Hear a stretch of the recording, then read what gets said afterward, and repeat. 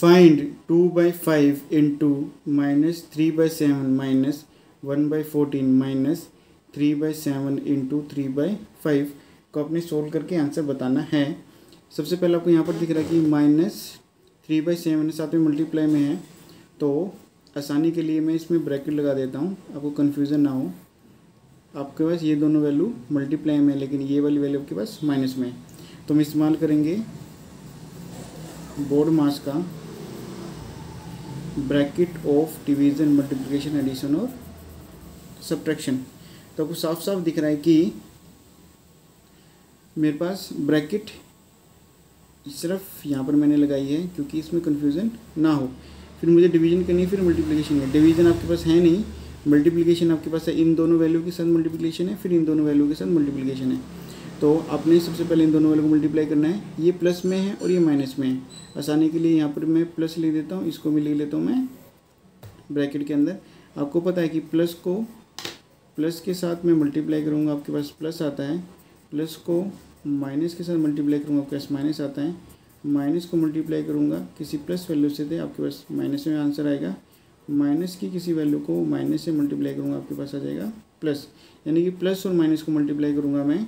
तो आपका आंसर आएगा माइनस में। तो यहाँ पर आ जाएगा मेरे पास माइनस टू और थ्री को मल्टीप्लाई करेंगे, आपके पास आ जाएगा सिक्स फाइव और सेवन को मल्टीप्लाई करेंगे, आपके पास thirty five minus one by fourteen या माइनस है ये आपके पास प्लस है। आसानी के लिए मैं आपको मैं समझा देता हूँ, इन दोनों में मैं लगा देता हूँ ब्रैकेट आपको साफ़ साफ़ दिख रहा है कि ये भी प्लस का है और ये भी आपके पास है प्लस का। तो ये दोनों वैल्यू आपके पास हो रही हैं मल्टीप्लाई तो यहाँ पर आपके बाहर लगा हुआ है माइनस तो ये जो बाहर माइनस लगा हुआ है, इस पूरी वैल्यू के साथ माइनस में लगा हुआ है, इसलिए मैंने यहाँ पर आपके पास एक बड़ी ब्रैकेट और लगा दी है समझाने के लिए. तो यहाँ पर जो माइनस है, यहाँ पर आएगा ही क्योंकि ये दोनों प्लस की वैल्यू यानी दोनों प्लस की वैल्यू आंसर आपके पास आएगा प्लस में. थ्री थ्री ज़ा नाइन सेवन फाइव ज़ा थर्टी फाइव अब इसको ब्रैकेट लगा के प्लस भी यहाँ पर लिख सकते हो। प्लस लिखा नहीं जाता। तो आपके पास कंफर्म आंसर है, यही वाला ही आएगा। अब मुझे थर्टी फाइव फोर्टीन और थर्टी फाइव का एल्शियम लेना है। क्योंकि आपके पास आंसर आ गया है फ्रैक्शन के अंदर। तो थर्टी फाइव और फोर्टीन लिख देता हूँ। थर्टी फाइव मेरे यहाँ पर है तो मैं एक बार ही लिखूँगा। दोनों वैल्यू को एल्शियम लेता हूँ। सबसे पहले मेरे पास ये जाएगा फाइव पे।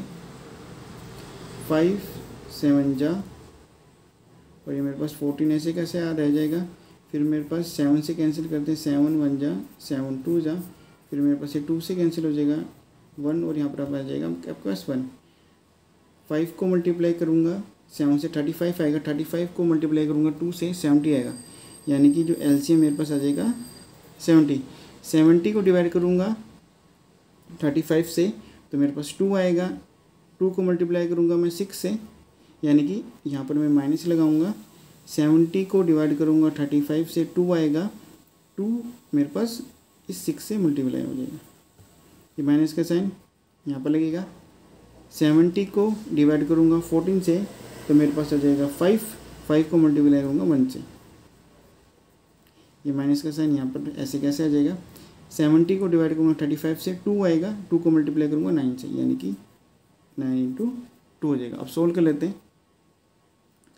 Minus twelve minus five minus eighteen by seventy हो जाएगा।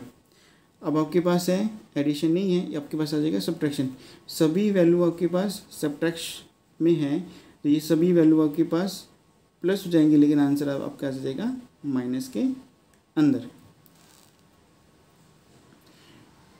तो यहाँ पर मेरे पास आ जाएगा minus thirty five by seventy minus one by two आपके पास आ जाएगा आंसर